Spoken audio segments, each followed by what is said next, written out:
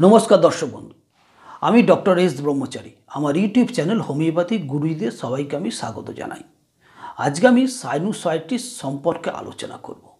Sinusitis এবং homeopathic treatment আজকে আমি বলব সাইনুসাইটিস কাকে বলে? কত প্রকারের সাইনোসাইটিস হয়ে থাকে? কি কি কারণে সাইনোসাইটিস হতে পারে? এবং সাইনুসাইটিসের লক্ষণসমূহ। তার সঙ্গে আমি বলব সাইনুসাইটিসের জন্য ব্যবহৃত হোমিওপ্যাথিক মেডিসিন এবং হোমিওপ্যাথিক ট্রিটমেন্ট। ভিডিওটি আপনারা প্রথম থেকে শেষ পর্যন্ত ধৈর্য ধরে দেখুন। আর আপনি যদি আমার চ্যানেলে নতুন দর্শক বন্ধু হয়ে থাকেন, অবশ্যই চ্যানেলটি সাবস্ক্রাইব করে পাশের বেল আইকনটি একবার ক্লিক করে অল নোটিফিকেশানটি ক্লিক করুন। ভিডিওটি যদি ভালো লাগে, অবশ্যই একটি লাইক করুন।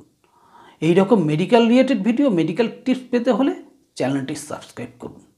তবে দেখুন আজকের নতুন ভিডিও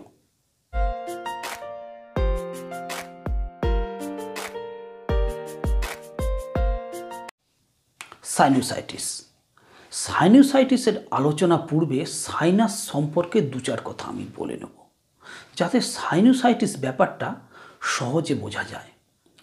আমাদের মানব শরীরের মাথার খুলির ভেতরে ছোট বা বড় ফাঁকা বায়ুভর্তি গহ্বরকে সাইনাস বলা হয়ে থাকে। সাইনাসের ভেতরের দেয়ালে মিউকাস বা শ্লেষা দ্বারা আবরণ থাকে। বিজ্ঞানীরা এখনও সম্পূর্ণ জানেন না যে মানব শরীরে এই সাইনাসগুলি কেন থাকে বা কেন তৈরি হয়। তবে সর্বগ্রহণযোগ্য মতবাদ হল নিঃশ্বাস প্রশ্বাসের সময় এই সাইনাসগুলি নিঃশ্বাস প্রশ্বাসের বাতাসকে আর্দ্রতা করে এবং কণ্ঠস্বরকে কিছুটা বাড়ায়। আমাদের মুখমণ্ডলের হাড়ের ভেতরে চার জোড়া সাইনাস থাকে। প্রথম হলো frontal sinus ethmoid sinus sphenoid sinus এবং ম্যাক্সিলারি সাইনাস দেখুন স্কিনে আমি একটা ছবি দিয়েছি, স্পষ্টতই বোঝা যাচ্ছে তারা কোন কোন জায়গায় অবস্থান করে। যদি কখনো এই সাইনাসগুলি virus bacteria fungus allergetic reaction বা অটো ইমিউনো ডিসঅর্ডারের ফলে ইনফেক্টেড হয়ে থাকে, তখন সেই রোগগ্রস্ত কন্ডিশানটাকে আমরা সাইনোসাইটিস বলে থাকি। এই সাইনোসাইটিস তিন প্রকারের হয়ে থাকে। অ্যাকুট সাইনোসাইটিস এটি চার সপ্তাহ পর্যন্ত রান করতে পারে। সাব অ্যাকুট সাইনোসাইটিস এটি চার সপ্তাহ থেকে বারো সপ্তাহ পর্যন্ত রান করে থাকে। ক্রনিক সাইনোসাইটিস পেশেন্ট এই সাইনোসাইটিস দ্বারা সারা বছরই কষ্ট পায়। অথবা মাঝে মাঝে সাইনোসাইটিস দ্বারা আক্রান্ত হয়, তারা ওষুধ খান, সেরে যায়, আবার কিছুদিন পর সাইনোসাইটিস দ্বারা আক্রান্ত হয়। একে ক্রনিক সাইনোসাইটিস বলা হয়ে থাকে। এবার আমি বলব, কি কি কারণে সাইনোসাইটিস হতে পারে?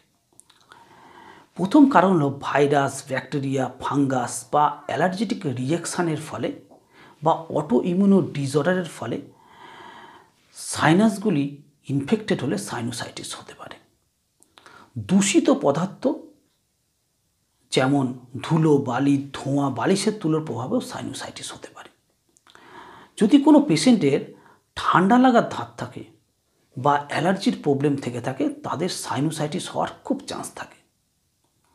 নাকের ভেতরে ন্যাজাল পলিপস বা কোনো টিউমার বা কোনো গ্রোথ যদি থেকে থাকে, সেই পেশেন্ট ক্রনিক সাইনোসাইটিসে রান করতে পারে। নাকের কোনো গঠনগত সমস্যা বা অ্যাক্সিডেন্টের পরে নাকের গঠনগত পরিবর্তন হলে সেই পেশেন্ট সাইনোসাইটিস দ্বারা আক্রান্ত হতে পারে। যদি কোনো পেশেন্টের শরীরে প্রতিরোধ ক্ষমতা কমে যায় বা কম থাকে, তখন পরিবেশের মাইক্রো অর্গানিজম দ্বারা সাইনাসগুলি আক্রান্ত হয় এবং সাইনোসাইটিস হয়ে থাকে। এবার আমি বলব সাইনোসাইটিস হয়েছে কীভাবে আপনারা বুঝতে পারবেন? সাইনোসাইটিসের সাইন এবং সিমটমস বা লক্ষণ সময়ের মাধ্যমে আমরা বুঝতে পারব সাইনোসাইটিস হয়েছে কি হয়নি। সাইনাসগুলি কতটা ইনফেক্টেড তার উপর সাইনোসাইটিসের লক্ষণ সমূহগুলো নির্ভর করে।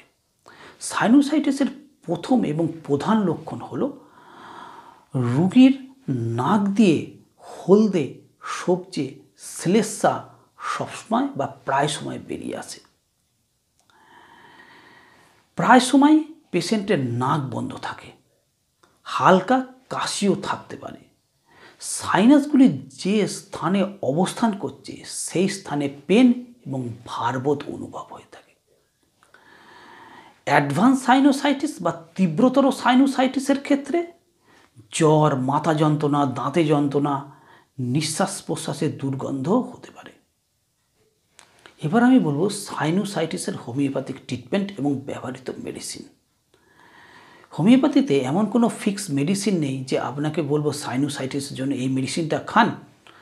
নির্দিষ্ট ডোজ নির্দিষ্ট রিপিটেশানে বা নির্দিষ্ট পটেন্সিতে সাইনোসাইটিস থেকে মুক্তি পাবেন। হোমিওপ্যাথিতে এর ট্রিটমেন্ট আছে, কিন্তু হ্যানিম্যানিয়ান ক্লাসিক্যাল মেথডে আপনাদের ট্রিটমেন্ট করতে হবে। পেশেন্টকে কেস রেকর্ড করতে হবে সাইন্স সিমটমস নিতে হবে। যে মেডিসিনটি সিলেক্ট হবে, সেই মেডিসিনটি পেশেন্টকে নির্দিষ্ট ডোজ নির্দিষ্ট পটেন্সি এবং নির্দিষ্ট রিপিটেশানে দিতে হবে। মেডিসিনটি খাওয়ার পর যদি অন্য মেডিসিনের ইন্ডিকেশান হয়, সেই মেডিসিনটিও সেমভাবে আমাদের দিতে হবে। এইভাবে ক্রনিক সাইনোসাইটিস ট্রিটমেন্ট করা হয়। ধৈর্য ধরে একটু সময় নিয়ে পেশেন্টকে ট্রিটমেন্ট করতে হয়। তবেই পেশেন্ট সাইনোসাইটিস থেকে মুক্তি পেতে পারে। যে মেডিসিনগুলি সাইনোসাইটিসের জন্য ম্যাক্সিমাম সময় ব্যবহৃত হয়, সেই মেডিসিনগুলি আমি আপনাদের সামনে তুলে ধরব।